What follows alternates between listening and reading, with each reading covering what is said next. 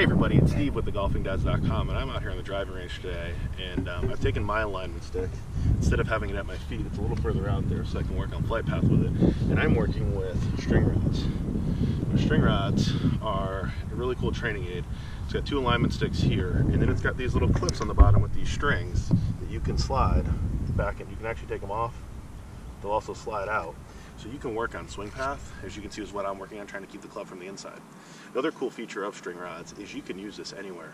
If you're on the putting green, you can actually take tees, put tees underneath these little these little end pieces here, prop it up so you can work on putting with it. You can also take it in the bunker, struggle out of the sand, coming across the ball. When you come across the ball, you can actually set this up so that your angle of attack is this way. Um, and we're going to show that later. I'm going to take that over to the bunker here in a little bit. We're going to do that. But uh, right now, I'm going to hit a little seven iron here. We're going to set this up. I'm trying to get. Okay, and now we're going to hit a little seven iron. I'm working on keeping the club on the inside here, down my target line.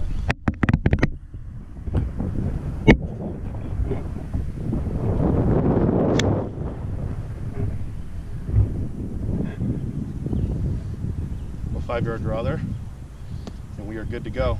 Coming up, we'll show you how you can use this out of the bunker. Another really cool thing about the stringRods are their mobility and where you can put them. So I've got it here in the bunker. I'll lift this up here and show you. I've got this set up trying to work on my path going this way.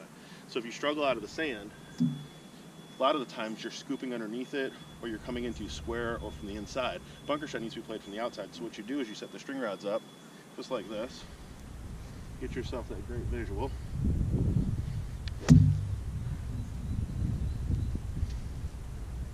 And then you hit a great bunker shot. It was a little heavy, got away with it.